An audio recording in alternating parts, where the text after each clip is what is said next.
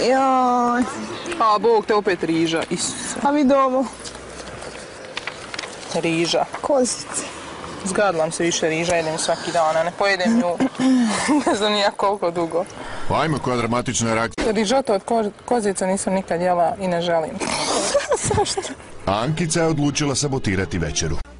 Ja svakako očekujem od Daniela da to bude nešto wow, posebno, da nosi osam tanjura na rukama, jer on nama stalno priča o nekom iskustvu, o tom kak je svašta kuho, svašta probao, morskog psa, ovog ono. Pa eto, ja Da. se nadam da će biti nešto wow. Ankicu stvarno bode taj morski pas. Činjenica je da je to bio jako loš izbor za predjelo, predjelo jer kod nas to puno ljudi ne jede, nije nikad probalo u život, pogotovo ne ja. Mislim, koja sam tako mlada, nisam, ne znam, još prošla ni probala neka jela. Nema u desertu ništa što mi se svidjelo kad sam ga stavila u usta, apsolutno ništa. Super je izgledao, ali ostalo ništa nije valjalo. Ovo je malo nešto. Cijeli život dobivam poklone, ali mi to nije promijenilo, promijenilo mišljenje u, u biti o osobi, o jelu, mislim, tu ocjenjujemo jelo, a ne poklon.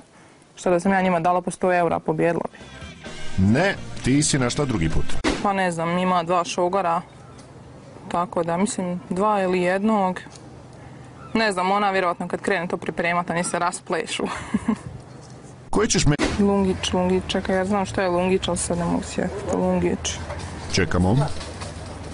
Čekamo. A gle, ili znaš ili ne znaš. Svinjski lugnjić, pa ne znam, ne znam šta, šta je svinjski lugnjić, ali je šta moglo biti neko fino meso. Jer ona ipak zna šta valja. Pa eto, ne znam, neki dio svinja koji je fin. Pa može se to i